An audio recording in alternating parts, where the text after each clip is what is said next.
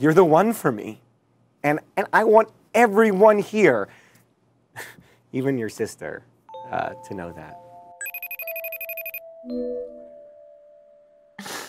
Oh my God. What did you do to your hair? Mom is gonna freak. Well, thank God mom's not here then. Also, apparently, Ecuadorian men love short hair, so. Oh, well, I see nothing's changed. You're the one to talk, you bitch ass. Ah! Ooh, so what are those? Oh, those? Him, him? Yeah.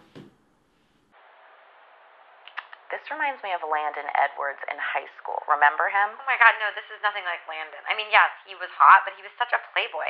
I mean, he was never in love with me. Hello?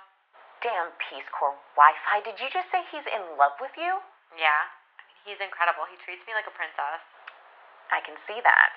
I mean, I always thought, well, I mean, I always hoped that guys like that existed. And clearly they do, so. I think he's the one. um, did you just say he's the one? Yeah? yeah? Why? Oh my god, are you okay? Yeah, great. Just a little shocked. I've never heard you talk like this about anyone. No, I know. It's it's it's been a whirlwind, but I mean, I I don't know. I guess I'm still in shock myself. Well, take a breath and come back down to earth. I wouldn't want you to overlook. This just feels right. Oh. Sable, come on. You're my sister. I need your approval.